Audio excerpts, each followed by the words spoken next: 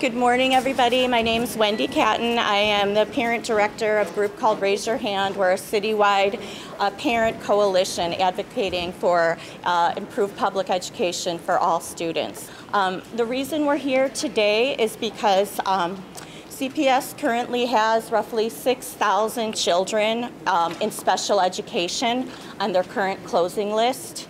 Um, they have 39 schools with special education cluster programs on this list. That's where children with uh, more profound and severe disabilities like autism and other conditions are being bussed in, especially to receive services um, that they don't get and they haven't been able to get at their neighborhood school. We're here because Chicago Public Schools has admitted that they did not take the, the classroom size rates of kids in special ed into their utilization formula. Todd Babbitz, who is at the cabinet level and involved in this process, admitted this at a Chicago Education Facilities Task Force meeting three weeks ago. Yet nothing has happened since then. Chicago Public Schools has traumatized these families. Many of these schools are full. I have been in them. Due to ha having 8 to 15 children in their rooms, they are not underutilized and they're likely going to be on this closing list tomorrow or the next day when it's released. We cannot believe that this district has shown such callous disregard for the lives of children, our most vulnerable children in this district. Additions are being put up in the mayor's ward for schools that are not even underutilized. Yet these children are going to be sent packing to who knows where with no plan in sight for how their children who need routine and consistency, how they're going to have a proper education. I personally have seen CPS botch 504 plans for my own child. I know that they cannot properly transition 6,000 children with IEPs in one school year. This is a, a, disgrace that they didn't come into these buildings and assess them properly. There's no way that they can do transition plans when they couldn't even assess these buildings properly and show these parents and children the respect they deserve. We're going to hear from parents today from, I think we have 13 schools here that are on this list, and let you hear from their perspective how they think this will impact their children. Uh, first, we're going to have from Smith School, Lashara Wilson. I too have a, 10-year-old son who is in fifth grade and he has autism. He was diagnosed with autism when he was 11 months old. I'm begging public school system not to close Smith or any school that had, where parents have children that have special needs. It's already hard enough to find schools for our children. Where are we supposed to go? I live in a district where because of where I live, the next closest school that has an autism program, I'm not in the zone for and the school is only eight minutes away from my home where I live. So where am I to take my son? You can't transition autistic children. They don't take well to change. So changing them is going to create behavioral problems in the classroom and at home. It's going to make learning hard. What's going to happen to all of the specialists that are needed? You need social workers to take care of the parents. You then you need the teacher aides in the classroom to assist the teachers. What's going to happen when teachers are so overworked and tired that they can't tend to children anymore? This is not something that should be taken lightly. Just because a child has a disability or they're different, that does not mean that they don't deserve the opportunity to become a productive citizen like you and I. Who knows? One of our children here today could be the next Barack Obama, the next Michelle Obama. Give these children a chance. How can you do something like this? You're hurting the parents and you're hurting the children. Have a heart. Be considerate. You went to school to be a teacher. Show that you love the children. Show that you love the parents. Have some type of compassion. Care. Understand that these children are already hurting. They're already functioning in their own world. So a lot of them only have parents and their teachers yes. to deal with on an everyday basis. Don't close our schools. It doesn't matter what race, creed, or color a yes. child is. Yes. They deserve an opportunity oh, for proper education. Thank you. Okay, we're going to have um, Lozano School, uh, Tammy Novak and Henry Morales next. Yes. My daughter, Julia Novak, is a proud sixth grader at Lozano Elementary School.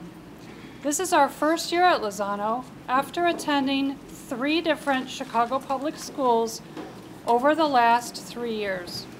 Julia is diagnosed with a physical disability, speech and language delays, cognitive, cognitive delays, and an IQ that dropped from 79 to 51. She is academically functioning around a second grade level and has been for the past two years. Last year, at another Chicago public school, she was suspended nine different times. This was the solution they offered to manage the anxiety she displayed from clearly being overwhelmed by a curriculum that was not meeting her academic needs. Suspending my cognitively delayed daughter academically stalled her, caused her to lose her desire to learn, and more importantly, taught her to distrust adult, adults who were supposed to be providing her with a free and appropriate education. She could no longer stay in that inappropriate environment and was homeschooled. Julia was placed at Lozano, where we have finally found the right fit. Lozano's approach has been to embrace her learning challenges, help her feel safe about the adults entrusted with teaching her, and allows her to become a part of an enriched learning environment.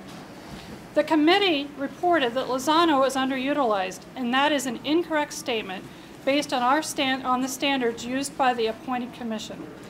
The report states that we are only utilizing 65% of our building. In reality, we are utilizing closer to 80%. Lozano has two autism classrooms with a maximum capacity of 13 students in each room per the district requirement. Since these rooms cannot be counted as typical home rooms, they end up adding students to our total, giving Lozano a capacity of 70%, a number that according to CPS's own standards removes our school from consideration for closure. Additionally, over 50% of Lozano students qualify for bilingual programs. Per federal state law, we must provide services and do so with half room designated for English as second language services. In accordance with the Chicago Teachers Union contract, space is provided for clinician meetings, resulting in the use of another half of a room. These combined spaces results in another classroom designation by law that is not a homeroom. Per federal state law, we must provide another room for world language, which again is not a homeroom. These additional two rooms add 60 more students to our enrollment, bringing our capacity to 80%. Accordingly, our capacity exceeds the requirement for closure, and this fact proves that Lozano must be removed from consideration. These facts and figures were presented to the committee at our community meeting and should be on record for the board's review. I am happy to resubmit the calculations to prove that Lozano does not qualify for closure. Finally, I would ask Dr. Byrd-Bennett and the board to look at a school like Lozano and see the tremendous impact it has had not only on my daughter, but on the entire student population. Our principal has been there for two short years, and in that time has secured a team of highly educated professionals. This has resulted in student growth as demonstrated by the results of the NWEA. Lozano students have shown tremendous turnaround under her leadership. She has created an environment of academic pride, high expectations for each student, and an air of emotional intelligence among the staff. Her leadership should be seen as a hallmark for the free and appropriate education that not only special needs students are entitled to, but the educational standards that all students should experience. Thank you.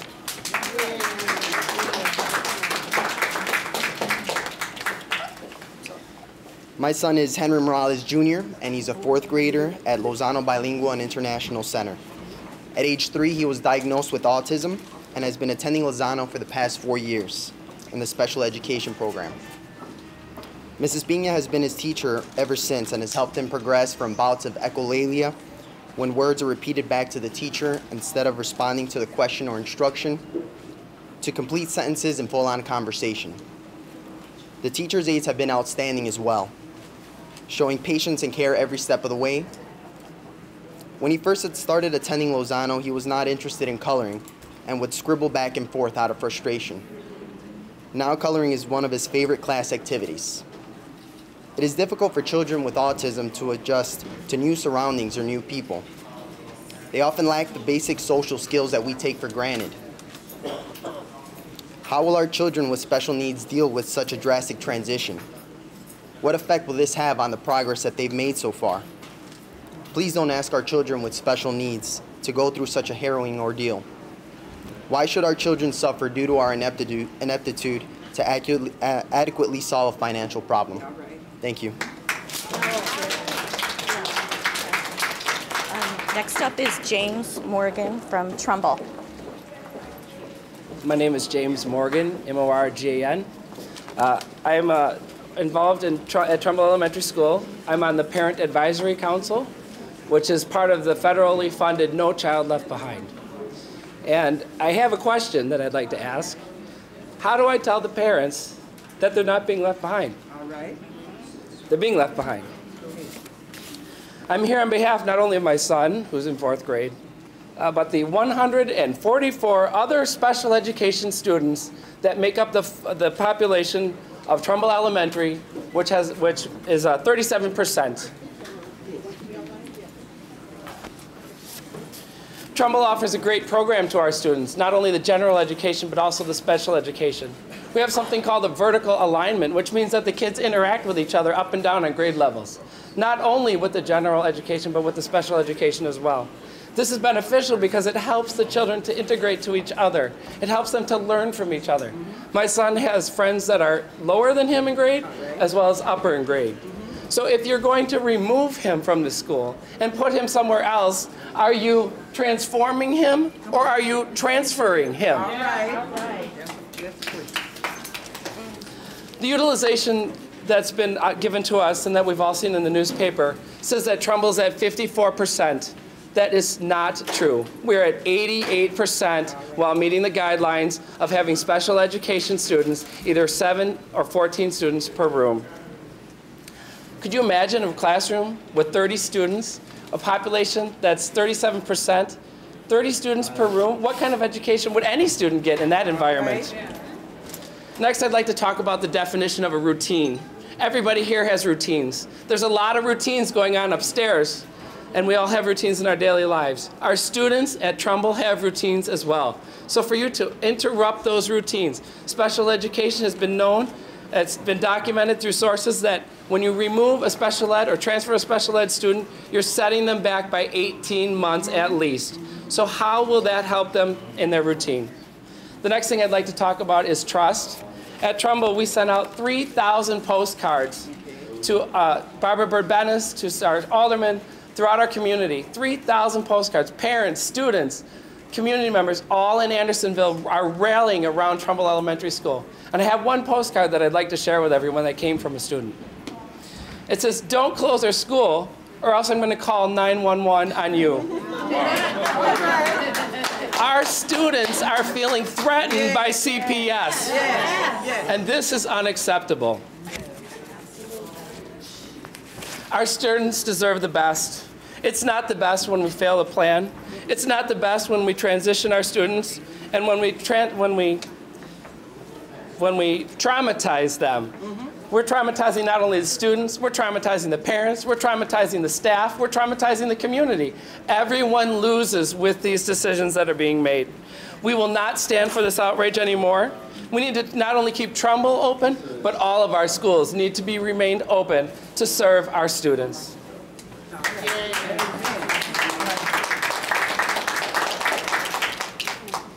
Thank you so much. Okay, next up is uh, Lafayette, Thalia Castanon. Good morning, everyone. My name is Thalia Castagnon. I am a sister of a student that attends Lafayette Elementary School, my brother Javier Villagomez. He is in a cluster program due to his disability. He has autism. He has been attending since the age of three once he was diagnosed, technically from Head Start. Now he's currently in seventh grade. And honestly, with Lafayette, if it wasn't worth for Lafayette School, he would actually, he's a success story. From being nonverbal and overly hyperactive, he is now a well verbal child that does not stop talking. And he is well controlled. The teachers and staff at Lafayette has worked intensively with Javi through all the years, from Head Start to his present date, to meet his de- developmental milestones. Many of us that are present here today did have the pleasure in hearing his plea in front of the Fulton Network Community Meeting on February 26, 2013, at the First Baptist Congregational Church, where he stated, At school, I have learned how to read, write, add, subtract, and talk a lot. So please do not close down my school. At the end of his plea, he had many in tears and he was given a standing ovation by 700 plus people that were attending. Lafayette Elementary School has provided an outstanding curriculum and dedication to all children with special needs, from autism, Fragile X, Down syndrome, 504s, emotional disorders, and learning disabilities. At Lafayette, there is a population of 400. Out of those 400,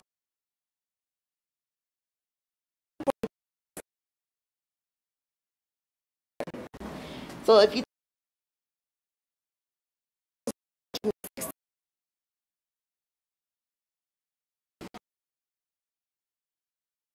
an autism cluster program for these special needs children. We offer five low incident classes to eighth grade with a maximum of 13 children per classroom and three cross category self contained classes also with a max of 13 children per class. So, Lafayette has a motto, a motto which is a passport to the future, which as well as parents, teachers, staff, students, and community members stand strong with. Our mission statement goes as follows. Lafayette will be a model school where each child will achieve self-actualization through the development of social, emotional, and academic skills in order to function as an informed citizen of our community. I do recall years ago when Chicago Public Schools letterhead quote was once, our children, our future. Then later changed to no child left behind. Really? No child left behind? Think about it. With all these school closures, CPS is going to leave thousands of kids behind. Yes. Technically throwing them all out at the wolves. Keep in mind that Lafayette is the second home from home for these students, a place that is safe for them. Thank you. Um, next, we're going to hear from McClellan School. Hi, I'm a parent, mother of three CPS students. Today I stand on behalf of my son, 11 years old, who has autism. He has already been through two school closings. He is presently a student at McClellan Elementary School, where he's thriving, he's stable, and he's doing an excellent job. I'm appalled to think that he can possibly be displaced again. I would like to ask CPS a few questions. Do you truly understand the repercussion and the major setback these actions will have on not only my son, but all of the other autistic students at McClellan? Do you realize this is a health issue, considering these special needs children with autism? They progress through repetition and stability. If you uproot them yet again, they will lose a lot of their gain. They will regress. We were told that McClellan was underutilized, which was proven since that there's there was a miscalculation. Also, I would like to personally say percentages, numbers, figures, square footage is what our children are being compared to and measured by. Well, we as parents, uh, no, we don't view our autistic children as statistics or percentages. We see our children as beautiful kids who deserve an equal opportunity and a fair chance to have a quality education. Thank you. I have an autism, autistic son. His name is Davion. I adopted him when he was two years old, and I moved to the city of Chicago so he can have a better education. I urge the mayor, Barbara Byrd-Bennett, to stop it. My son has consistently made progress while being at George B. McCullough School. He's talking, he's potty trained, he can write his name. To remove him from his source of trust would be detrimental. It's inhumane to move special need kids. The parents need mental health. I have had slept. I haven't slept because I don't know where my son will go next school year. Mm-hmm. My son functions by transitions and routines and consistency. If you remove him from his school, he would. De- he would deteriorate. It would take him a whole nother year to get used to the teachers, the friends, the routine. I urge you to come, spend a day in my house with my son. I'm urging the mayor, any commissioners, any educators to come have dinner with me, see what I go through on a daily basis. I ask you to keep these schools open. One in 88 kids is diagnosed as autism. Chicago and the Chicago public schools need to support autism. It's no summer programs for these kids. I, I, I look around and see all these people with saddened faces. It hurts me that my son has nowhere to go next school year. It hurts me that his routine would be crashed. It hurts me that the city of Chicago, as a taxpayer, that my child had to be shuffled around due to budget cuts. I just ask you to, to have compassion on kids with special needs. I ask you to look at your kids when we look at kids that's, that has autism, the spectrum is from one to 100. Each kid function differently. Mm-hmm. Each kid needs something different. So when you want to close a special needs school, mm-hmm. I don't think you see the repercussions. It's a safety issue. The kids are used to routines. They're used to their teachers. They're used to getting on the school bus. My kid know location. He say, "Mom, make a right." He know his way to school to take him to another school, to take him out this element would be detrimental. It's inhumane. It's unethical. I beg you to save our schools. Okay, we're going to have uh, Mary Moore from McNair next. We are from McNair Academy, 4820 West Walton. You know, I have a lot of paper in my hands, but I want to talk from my heart. I have a son that has IEP, they, that's what they said. But when my son first came to McNair, he was about three years old. He used to roll over in the floor, hide under the table, the desks. We had to look for him and everything. As he started growing up at McNair, he started changing. He started speaking. They said, they told me that my son would never talk and he would never walk and everything like that. Now, he's communicating with the people, he, the children. He's, he was isolating himself because he thought he wasn't good enough to be around other children. We have at our school now 417 students at our school. 106 are disabled kids. Well, a lot of people want to know, Mary, why you want to work with uh, special ed. That's my heart. The reason why Xavier came from rolling on the floor, hiding under desks, hiding in bathrooms. Now, this year, Xavier will be graduating with honor going to Wells as IEP. You know, McNair is a school of love. We have about eight yellow buses that bring special ed with uh, wheelchair assessments to our school. I volunteer a lot there. I am president of LSC, but that doesn't matter about that. Uh, I see these kids, they're coming out. They, some of them, they'd be so happy running into our school. Coats are flying off. We are in school. They heard, I'm just like you, that our school was on the closing list. They, some of them can't speak. I showed them a picture of our school mate go the little boy told me, he said, uh, my school no more. And I looked. I said, yes, we're going to do the best we can. She's going to speak next. Let me thank Mary for filling my heart full of joy. I'm a parent of four adopted kids. I don't know where DCFS is at, but they should be here helping us fight for our schools. Yes. I, uh, the oldest one is 19 years old. We started off in public school at McNair when it was at the old place where the water was brown and the school was dirty and the walls were crumbling. We fought 17 years ago for McNair School. Now it's a beautiful place, and they want to take it back. I think it's unfair. We have community children who walk to school every day. I mean, they're walking there, and some of them are coming really Yes, late. Yes. We're not responsible for that. We just open the door and receive the kids as they come. Mm-hmm. But they can't walk there. So they don't have to worry about their parents getting them there. They can walk. And I'm talking about the kids that don't have parents to stand up for them. Right. I'm standing for them today because I see these kids in my community. My community is the Austin community where not all the parents are up to parts, but once they make the school, they know they're gonna get a meal.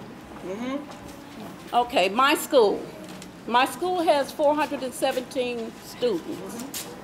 Uh, two half-day preschool, two full-day kindergartens, and a special ed cluster. 97%, 97.6% are low-income families. That means that I am standing here because I work in the community and I keep eight of those children Yes. That I take to school every day. There are special need programs. 22.5% of the students receive special needs services. Five low incident cluster programs. 72 students are served. 23 students are severe and profound. Do you know what that means? For them to be around children that can actually run and Yes, jump and yes. talk, it makes them happy. They're joyful. They see other people besides people like them. Mm-hmm. And I think that's wonderful. Yes. Because before I can remember, when they had the Washington school, and they closed that school because they wanted the kids to be more in the community and more involved. So they could get good jobs and they would know how to act in the public. yes. So now what we're gonna do, are we going backwards? Uh-huh. The other is a 23 cross-category special needs students. The building is handicap accessible. That means they don't have to go up the ramp, they don't have to go up the steps, they just slide in the school. The door is open and they come right in. They don't have to try to open the door, it's welcoming. It welcomes the children.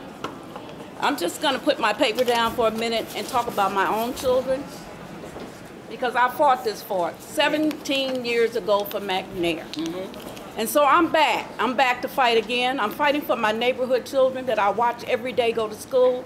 I'm fighting for the parents that are not coming out to fight for their own children. I'm standing here to say, let McNair stand.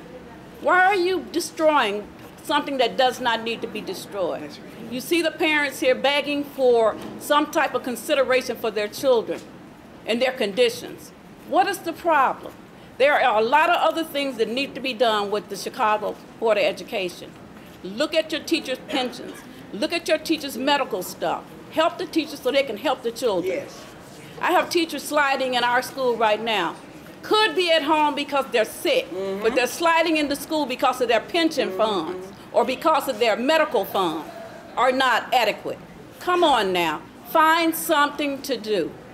Don't close our schools. Don't, don't shut our kids out. Find something else to do. Thank you. I'm standing here representing the parents of Ryder. Uh, as you as you look at the numbers for school closing, in the Englewood Gresham area, the largest concentrations of schools are in our area. That being said, Ryder is only one of two in the Englewood Gresham area that are that are optimized to receive uh, special needs children. So if Ryder was to close, then where would the children in the Englewood Gresham area go? Would you bus them way across town? Would you bus them to the north side? Or exactly what would you do with those kids?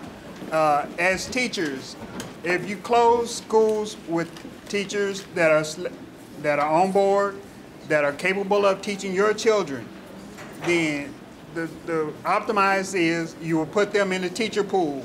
Well, if you got a senior teacher that's near retirement and they, I've had a lot of teachers come to me and say, I am tired. You know, I, I don't feel like going on. I don't feel like fighting this anymore. You're teaching, taking that one teacher out that's optimized the teacher child to the best ability. So I'm asking CPS, especially the state, to come together and find a solution where we can all maintain our kids within our community, where they're best slated to be taught, where they're best slated to find safety and security. Would you want your child to be bused from one part of the town not knowing when, where, how, or what was going on with them at that certain time of day? Because that's the most perilous time of the day, moving back and forth from and to school. So I'm asking Barbara Byrd-Bennett and Mayor Emanuel to take a look at this problem and come up with a reasonable solution, mainly keeping our schools open. Thank you. I'm here to represent my child. He's a uh, special need child at Enrico Fermi Elementary School. And since he came to the school, he's, they have done a wonderful job on him. The teachers are very cooperated. They in, in they talking to me all the time about his progress, his good and bad. And you know, I was just looking at life, looking at the news, how just, we losing our children every day to the streets. So if they can't go to school, where would they go? We need these schools to stay open. And if you know what a special need child challenges are, you understand what I'm talking about when I tell you that he's comfortable where he are. Enrico Fermi, they have, he's made a lot of progress there. It was at one point in time, I heard the other uh, parents say that he, they children was rolling on the floor. My child was jumping off the ceiling. He was really all over the place. But they have really contained him and got him where he could actually function. So I'm begging you all, CPS, please don't close this school. Enrico Fermi, it's a great school. I see a lot of progress, and there's lots of other children with special needs there also who's being helped at the moment, you know. So we are begging you all not to close these schools. This seems like a form of bullying or something, you know, and we talk against that. Okay. The last speaker is from uh, Stockton School, Ms. Lavera Lee. Stockton is one of the schools on uh, the Chicago Board of Education Chicago Public uh, to be closed and combined with another school for the 2013 to 14 school year. Stockton School just had over $12 million of renovation done, which made the school handicap accessible. Not only did we get a ramp, but also an elevator.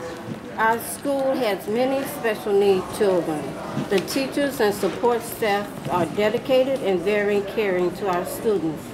The depth of caring has been shown by our speech pathologist, Marilyn Sander, who raised over $161,000 to have a Snoezelen room put in the school. The Snoezelen room is a multi-sensory environment that helps promote STEM communication and increase attention spans for students with special needs. This room is vital to the learning of the children. We, the parents and the school community of Stockton School are against any school closing. What, what will happen to our special needs children when you combine school? The answer to that question is the class sizes will become larger and the children will not get the special one-on-one -on -one attention that they need. If the Board of Education does this, you will only be warehousing special needs children. They are entitled to the best education we can give them. I repeat, we are against any school closing due to the effect it will have on all our communities and most importantly, our special needs students. Thank you.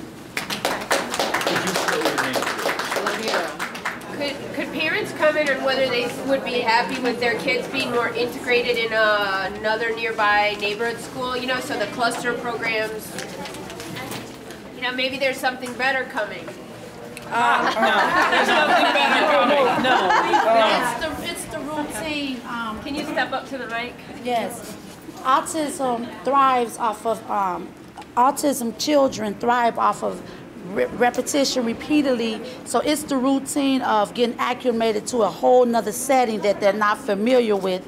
It doesn't matter whether there's a better cluster program.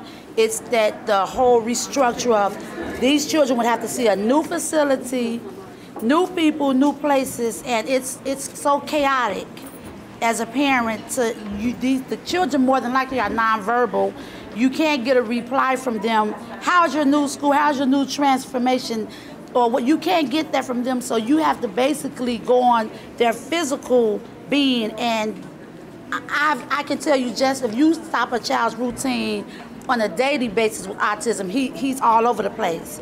So a new facility is not the answer. If they're doing well and progress and where they're at We're looking at people. We're not looking at footage and percentages and space and, and underutilization. We're looking at human beings that we're trying to get healthy, holistically. What two schools have your have been closed? You said your child was. I've been, I've come from Attucks, Crispus Attucks, from Crispus Attucks to Abbott, from Abbott to now McClellan, and in between I was at Drake for a, cer- a short period with him, but there was there was some form of bullying going on. So actually, this if I put it together, it'll be actually three um, different transformations, and it's that's that's not a normal thing for anyone. I didn't grow up in the school. I went to school from K through 8 and from 12th, from 9th through 12th. It's not normal to go from school to school to school. And I think one thing other parents who couldn't make it today have said it's not just the teacher, it's the principal, the security guard, the lunch ladies. Everybody knows these kids in the building. I think CPS has the mindset you can just, you know, transferring cattle and putting them in a new, new building. So it's not ju- even even if the classroom teacher is moved, it's you know many principals don't have the familiarity with special needs that that many of these programs have. So it's all the adults in the building. And, and what, I was saying, what, when they, when they get transferred, what services will they have there? There's been no plan, there's been nothing announced to us. So that's fine, if you're gonna, if you're gonna take the students from one school and all their services and put them in another school, why don't you just leave them where they're at? Right. The That would make sense, what, where's the savings when you have to transfer kids, all the, all the equipment that they have, all their stuff? You might as well just leave it where it is. Right. I'd like to speak about an experience that I had. As I said before, I adopted four special need children some time back.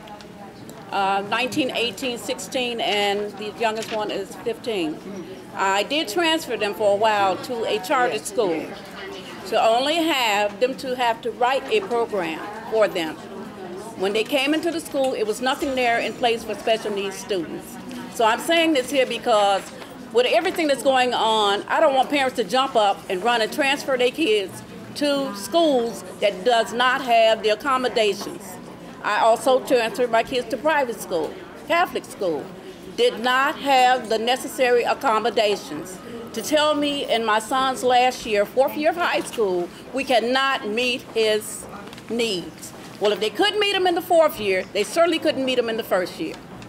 So I'm just saying, beware. Don't run and transfer your That's kids to these schools unless you investigate and make sure they have the necessary programs, or you'll be like that lady transferring from school to school, and it's not right.